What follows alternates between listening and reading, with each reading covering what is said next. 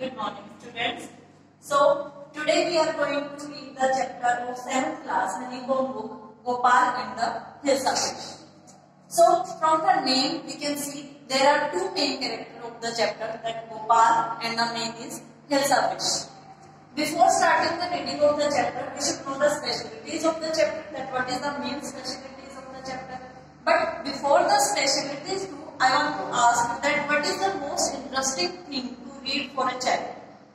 Obviously the comics because there are so many cartoons and their favorite characters and the, they, these are just written in a very attractive way so that they are very interesting to read for the children especially. So main specialty of the chapter is that it is written in the comic structure. So obviously you guys gonna enjoy to read this chapter. Second thing, the popularity of Hilsa fish that you always see that we always talk about the things which are very popular. These are nowadays corona disease is popular, so we always talk about the corona disease. So in this chapter, the popular thing is the hilsa fish. So that's why people always carry on talking about the hilsa fish. Third thing, which is the most important thing of the chapter, Gopal's intelligence. Gopal was a very intelligent courtier of the king who just took a challenge and made the impossible thing possible. Impossible thing was that it is really, really impossible when a thing or uh, when a person is popular and we should stop ourselves to talk about him or her or that about that particular thing. But Gopal has done that thing in the chapter. तो देखते हैं कि किस तरीके से गोपाल जो है उसे क्या चैलेंज मिलता है और हिलसा इसका मेन क्या रोल है इसमें और किंग का क्या रोल है, हर एक कैरेक्टर के बारे में अच्छे से पढ़ेंगे।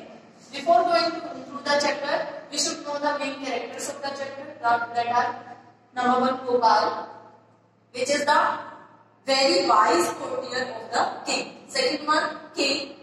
Number three, courtiers, जो बाकी के सारे राजा दरबारी थे वो।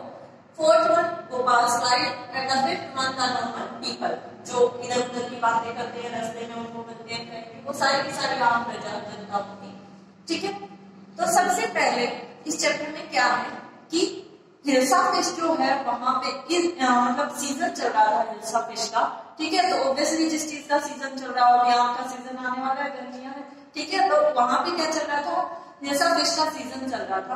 तो सारे के सारे लोग उसी के बारे में बातें कर रहे थे कि you have purchase hilsa fish oh your fish is so big from where did you purchase delicious and so nice fish मतलब इस तरीके की बातें वो करते रहते थे।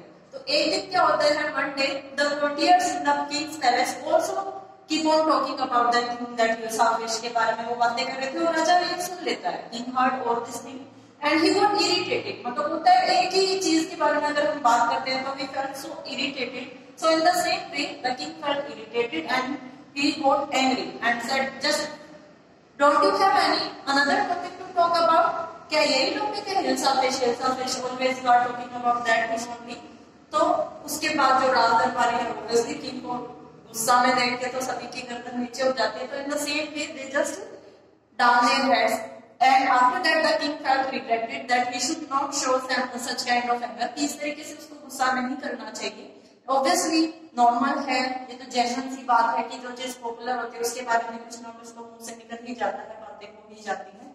तो he felt regretted and says sorry to his courtiers also after that a very wise courtier वो बाल in his palace he said that I can stop this thing I can take this thing as a challenge that I will bring a hilsa of fish for you and I will just make sure this thing that not a single people will talk about the hilsa fish. मैं ये करके दिखाऊँगा कि मैं आपके लिए hilsa fish लेके आऊँगा, बहुत बड़ी हिल्सा फ़िश लेके आऊँगा मार्केट से और कोई भी एक सिंगल पर्सन भी हिल्सा फ़िश के बारे में एक शब्द भी नहीं बोलेगा।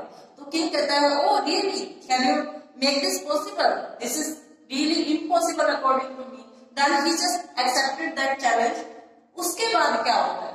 इतना बड़ा चैलेंज था कि भाई कैसे हिल्सा फ़िश के बारे में भाई, जो